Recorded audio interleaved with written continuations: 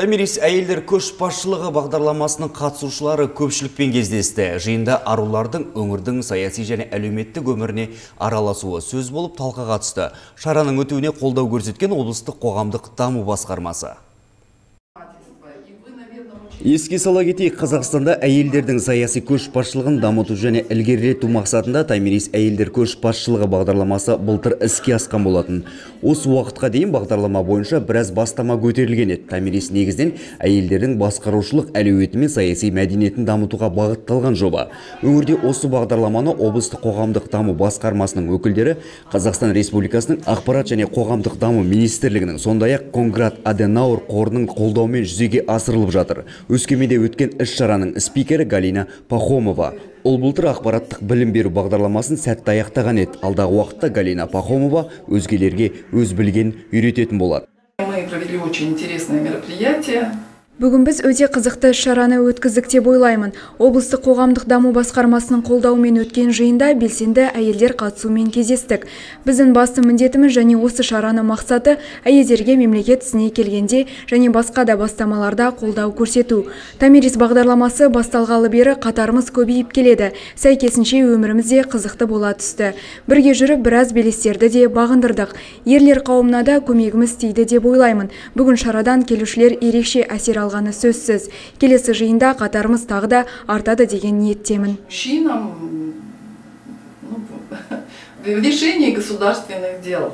Ең алдымен жобаға қатысушылар көшбасшылық саясаттағы теңдік мәселелері, құқық басқару келіссөздер және көпшілік алдында сөйлеу курстарынан өтеді. Бағдарламада түрлі елдің жетекші саяси қайраткерлерімен кездесуде қарастырылған.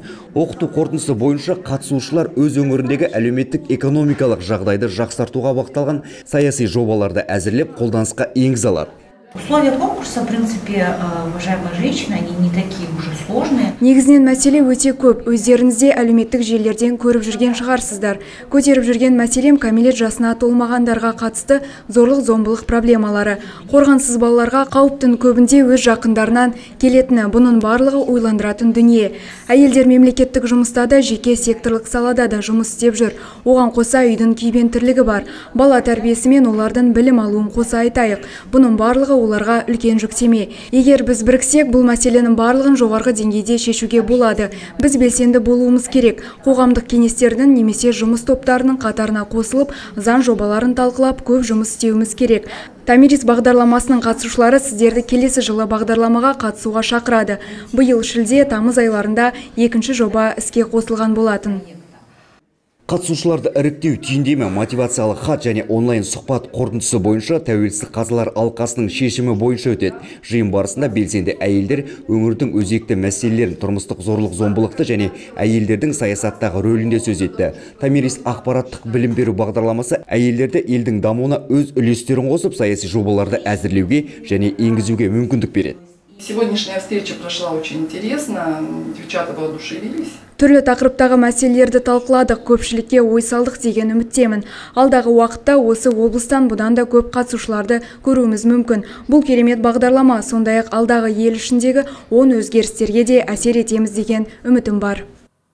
Өтінім бергеннен кейін 30 қатысушы іріктеледі. Олар Астана қаласына 5 күндік оқу бағдарламасынан өтіп, көшбасшылық қабілет, ораторлық өнер, саясаттағы теңдік және тағы басқа тақырып бойынша курстан өтіп білім алады. Сонымен қоса көпшілік алдында сөйлеу, әлеуметтік желімен жұмысты да үйренеді. Досжан Мұхаммедқали, Тамир Искабаева, Алтай ақпарат.